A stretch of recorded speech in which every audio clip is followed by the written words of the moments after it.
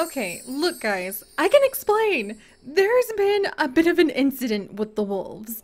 It's a little bit chaotic, but I have got this all under control. We're going to be tranquilizing Sol and moving him in just a second. Nobody panic, nobody panic. We're, we're, we're getting this done. We're getting this done. We'll be moving him back over to his side of the wolf exhibit, and I will be explaining what the heck is up with this line of rocks in just a moment. Uh, basically, basically, I got it into my head, why don't we have more than one wolf pack in this exhibit? Because it turns out this exhibit is huge! It is bigger than the panda exhibit, and I realized, you know, it'd be really cool if the wolves had different territories. And hey, there's this really interesting null, like, null fence line thing that I could put down. Maybe that means the animals will see it as an invisible fence and they'll consider it like some sort of uh, some sort of natural territory that the wolves can split. Turns out that it just happens to exist for those places where you're making a habitat that you build a natural looking thing like a deep river for an animal that can't swim uh, or a cliffside for hopefully an animal that cannot climb over all of these rocks and you can set it to being a whole habitat for your staff that way and for your guests so they know the wolves won't get over there. Uh, but Sol looked at it and he, he literally looked at this and he was like, you think there's a barricade there? And he jumped the river. So he's currently escaped. Protesters have arrived because they apparently are very furious about the wolf situation, and I am currently building what we are calling Seri's Folly, a fall of rocks that shall line the side of uh, that shall line the side of this spot, and will hopefully go all the way through the river. I'm hoping they won't swim across here, so maybe I can just go up along like the creeks on both sides with like a little spot. They can they can come down to the river to go ahead and drink, but I don't think they'll swim all the way across the big lake. And so the two wolf packs, uh, we would have the wolf forest pack and the wolf mountain pack but yeah, they're supposed to just kind of like chill with each other. So we're gonna see if that's how this is going to work out or not. Oh, and by the way, I named the wolves. We have Luna over here after our wonderful wolves from WolfQuest, and we have Sol down here who is currently standing in the glorious sunlight, escaping, making life a little interesting. But I just used some emergency transport uh, and he has been, he just flew away uh, my wolf got boxed up and flew away. right. We'll take him out in just a second, but I kind of am working on something pretty important. Protesters have just arrived, probably because they are ridiculously upset over the whole wolf situation. Trust me, I am too. We're gonna go ahead. This is really humblingly ugly for now. That's why it's Seri's Folly. A literal fall of rocks that hopefully the wolves will not climb over. Uh, but we're gonna line it up on both sides. There we go. And I'm sure we can fix this. This actually looks kind of cool now that we're starting to work with it. Alright, we'll get Sol out, and then we will look at the new wolves that we just- oh, that actually does look kind of cool. It's a rough draft. I'm beginning to realize that's kind of what Planet Co or Planet Zoo is all about, is making rough drafts with what you have to work with, and then making it look pretty and not such chaos later. But alright, we have two- T the pangolin is about to have more pangolins! We have so many pangolins, guys! And look at this! We have a male and female wolf. We have another wolf pack. this is going to be the forest wolf pack, and we are going to have the mountain wolf pack with Sol and Luna. So I'm very happy about that. And for the forest wolf pack, we're going to go ahead and name these wolves after some of you guys and then keep an eye on how they develop over time and how the two packs will be different from one another. So I'm really happy about that. And we're actually going to have our female. So let's go ahead and name her. And we need to completely set up their exhibits. It's been a little chaotic behind the scenes here, friends. Uh, but this is going to be, this is going to be Mango. So what a cute name actually to start with our wolves. so Mango, she came with that name perhaps. Uh, actually, I kind of want to name the pangolin baby Mango because that sounds so freaking cute. So forgive me, Mango. Mango Una, I am going to actually name you after Pangolin because your name is just so perfect for that. And we're actually going to name our wolf Allie. So we have Allie, the wolf, and you guys definitely need to be leaving some cool suggestions. We'll get a wolf theme going. In fact, let's actually go with a theme. Let's see. I kind of want to go with like space theme on one side and forest theme on the other. So forgive me, Allie, we will name you after something as well. Something after you even. Huh, sorry about that. And I think let's actually go with Ember because Emberlyn is a beautiful name. And we're gonna have her be Emberlyn of the Forest Pack. And then let's have this be Ash of the Forest Pack. Ember and Ash, come on. And then Luna and Sol. It just, we've got a little bit of a theme going on there. And then Mango, I'm gonna go ahead and, oh, the pangolins have been destroying the little box. I'm gonna name T's baby after you as soon as she has her baby.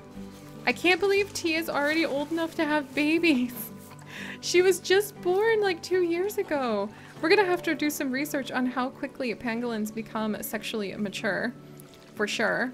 Alright, let's see. And the wolves have low welfare, so we need to take care of them. T? Can you please have your baby really quickly? Luna also has low welfare. I really need to work on, on setting up the wolf area. But we're back in our peaceful pangolin pagodas. We should make little pagodas! Just like we have the shrine for the pandas, we should make some pagodas. Teeth! Look at your little baby! Oh, precious baby! Welcome to Mango! Mango, our little pangolin baby. Oh, welcome, welcome. A dangerous animal has escaped. How? Where? Why? Luna! you weren't supposed to be able to- oh, okay, that one wasn't tall enough. That's my bad. Alright, we did emergency capture of Luna. There's a lot of chaos happening on the Wolf Mountain right now. And I'm gonna come on over and add... There we go. Alright, Luna. Hopefully she's being moved. I hope. I really hope she's being relocated to Wolf Mountain. That's what it says is happening. And I need to make... Okay, now we know we need to make the rocks, like, rockier. Okay, I really hope that we're moving Luna. Because otherwise this is absolutely... This is truly series folly. What? One of the wolves managed to get past the barricade on their side. Okay, thank goodness. Luna's being moved. Mimi's about to have her panda baby! You're kidding me! There's so much happening. This is truly serious folly. Truly. How will I possibly... How has the dangerous animal escaped? Sol, you were supposed to stay on your side of the river. oh my gosh. Oh my gosh. Okay, he'll be brought back in, I'm sure. But we're gonna go ahead and Serious Folly is an interesting rock fall. Mimi has had her baby. I'm coming, Mimi. I'm coming. I want to see your panda baby. That's actually like a huge important deal here. Oh, Serious Folly. How you have fallen. Here, we'll put some on the outside just to make it even more thematic. Alright, the other wolves don't be seem to be figuring out how to get up over these just yet, so maybe I'm doing this half right. Protesters are here because nobody is going to get more furious about anything other than protecting the beloved wolves. Holy cow, Mimi's baby! We need to celebrate with a new panda baby! This is chaos. Building up a huge expansive zoo like this is absolute chaos. Mimi, Where's the baby? On your grandmother! Dada, you're a dad! Oh, you guys might even have a second panda. I'm so excited about this. Mimi! Mimi! Mimi! Let's see. There's a keeper. Mimi! Alright, we'll find Mimi. Let's see. And... Animals? Mimi! Look at the little one! We have a little, little boy, little girl. We have a little boy, just like his dad. Look at him, you guys. Let's check out this little one. He's feeling pretty good about life. He is actually pretty sickly, unfortunately, but his fertility is super high, which is like, holy cow on pandas. So maybe we can pair him with a healthier female when he comes of age, which would be so, so wonderful. And he's decent on size, so there's a lot we could improve with the genetics of our animals as time goes on. But come on, it is a baby panda. And then, uh, let's see. Uh, we're gonna name him... Ali, I did say we were gonna name you after, like, name something after you. And I did already do Mango. So, Ali, we're gonna go ahead and we're gonna name him Al Al. I love it. I actually love that. Al Al. Little Al Al. oh my gosh. Okay, before we do anything else, we need to go ahead and add in. Oh, there is the statue of Dee Dee. Let, and there's Didi and Dada, and now we're gonna have another statue, and this is gonna be the statue of Al Al, the baby panda. Oh my gosh. Continuing our panda legacy with like more growth of, I just, our zoo is growing, even with the chaos, even with everything going like, ah, almost levels wrong. Our zoo is growing and we're doing this, guys. So, Let's get back to trying to make sure that our wolves are okay. They're not going to escape. Ash, let's make you happy. We need we need to get our wolves taken care of. Uh, so let's swap over. They need some terrain changes to, for sure. So let's get these terrain changes started and we'll do it live with them to try to make them as comfortable as possible. They want more rocks. They wouldn't mind some snow. Nice. Are they overheated? Is it the temperature? Temperature? Temperature is okay for them right now. Okay, thank goodness. Phew. All right, let's do this, guys. We've got to save our wolf packs. All right, we'll get some rock down here. Let's spread this out. Like, yes, of course, rocks along the river, actually, where I have kind of, like, made this whole area literally chaos. Let's get more short grass instead of the long grass. They're kind of impartial about the grass. They really want more soil, our wolves. And they really want that long grass gone. So if I can find patches of it. Who now and how? Oh, so if they go anywhere near their barricade, then it makes them freak out. Okay, okay. Because here's the barrier, you see? So actually, if I go ahead and change where the barrier connects though, so that the barrier is like connecting through the middle of these rocks. Come on. And then, okay, apparently I can't make the barrier connect in the middle of the rocks. But if I can come down this way maybe? Okay, no. What about this way? Let's grab this barrier. And then what if I want to make a new one? There we go and connect up somewhere around here. Somewhere here. Somewhere. And anywhere. Oh, oh, oh, I think I had it there. Whew. Okay. Delete that little thing. And then we can actually like delete that. And hopefully that'll work. But if they're gonna like freak out, I'll put some more of our more of Serious Folly. Don't mind me. This actually is hilarious because I would not have like planned this myself, but it's kind of turning out somewhat cool in a weird way. We will definitely fix how it looks. Holy cow, we will fix how it looks. But it's turning into something that's pretty awesome. Just by sheer accident. That's what I love about it. Alright, so let's go ahead and continue to prep their area. Alright, come on. Ember, we you should be in your exhibit now, so I'm not going to panic about that. Ash, you need your area changed some more. Let's continue to take good care of these wolves. We've got this, guys. We've got this. They want less long grass. There's no reason for all of you to be so panicky. The wolves are going to be fine. They really hate the long grass. Well, trust me, friends. I do too. Because trying to find all of it is eight levels of a pain in the rump. Oh, sweet! We found all of it! Thank goodness! Alright, we can add in a few more rocks. they really want a careful balance and they actually like some snow. So let's put down a cooler. Emily is about to die of old little pangolin age. Look at her. She's running towards her little food. Oh, oh, Emily, Emily. I want to remember Emily. She was one of our first ever pangolins. We need some way to remember our pangolins, okay? Um, oh gosh. Okay, like I talked about pagodas. Do we have like a little pagoda I can pagoda? We do. We have a little flower pagoda. It's a bit bigger than I was hoping for. Can I make can I make like a miniature flower pagoda lake out of some of the things we could construct in honor of Emily? Like, can I do that? I probably- look at all these decorative pieces that we have. I need a roof piece. I need the roof pieces. So let's see. Uh, actually, I think we have like some habitat pieces that I learned. There was like this cool roof piece. I think that was actually in construction.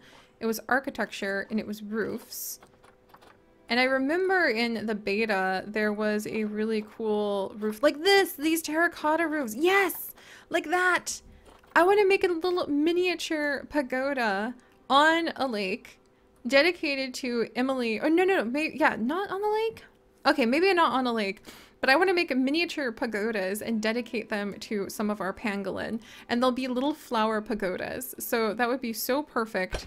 We're going to make this happen. All right, this is the tiled... Uh, oh, I can't change the color of this one. So I don't think that this is actually the one that I am looking for. Is it? Because I know that there was one where I could like change the color it was and I was having a grand old time with that, but I may not have researched that one yet. So Emily, you're to have this normal color it seems. And I'm to lift it up. Oh, Emily, have we lost, have we lost her mate? Have we lost, have we lost Pancake? Do we still have Pancake? If we don't have Pancake, I am definitely in a bit of a pickle. Uh, all right, let's see. Signs, decorations, centerpieces, little fountains, which I, I don't think I've unlocked fountains. The art shapes, which would be useful for making like something special. Oh, special effects? Falling leaves? What? What? Dirt blowing? Oh my gosh, mist? Fountain jets? Falling blossoms? I want to have falling blossoms in Emily's pagoda. to remember Emily by? Yes! I didn't even know these were a thing. I love how much you can do. Like, I, I there, there's no limit to what you can think up and what to build and what to create. Floor lights, decorative lighting, hanging lights for little Emily's pagoda, the architecture as a whole. I need good just like like little climbing logs will do. I do like these climbing logs. They're just useful for being able to quickly make a bit of a pagoda. So this is bigger than I wanted, but I'm sure eventually I will find a way to make the pagoda pagoda a little bit more go. And there we go. Mm, I feel like I want fancier than that. Like I want some sort of facilities, construction. I need like a column or a pillar. Yeah, like these pillars. So what are you, what are these called? Column. So column. There we go. Yeah, like these. Something a little bit more like that, except I, whoa, holy cow. except I want to be able to change their color. Can I change the color? I can! Yes! Okay. Emily! We'll have a little pagoda dedicated to you just yet. You hang in here, my, my dear girl. There we go. So we'll have a little pagoda. This is a little bit bigger than I was going for. And I really wish I could change the color of the top, but that's okay. Alright, don't worry guys, we'll get back to the wolves in just a second, but come on, Emily was a great pagoda, or a great pagoda, a great pangolin. And I want to remember her. So we'll grab that, and we'll duplicate it, I think this one will be okay just to do like a couple instead of... I actually like... Ah, oh, dang it. Now that we have it, I actually want to use the small pieces. In fact, this is kind of cute. This is kind of cute to use like two little... I like this idea. Watch, watch, watch. Yeah, I like this idea a lot. Okay, and then we'll drop this up a little and then back a little. Oh, that's cute. That's what I wanted. All right, Emily. We're going to create your pagoda. There we go. That's adorable. And then we're going to come down here and terrain. We're going to get some soil. Just a nice little light patch of soil. Pangolins are so afraid.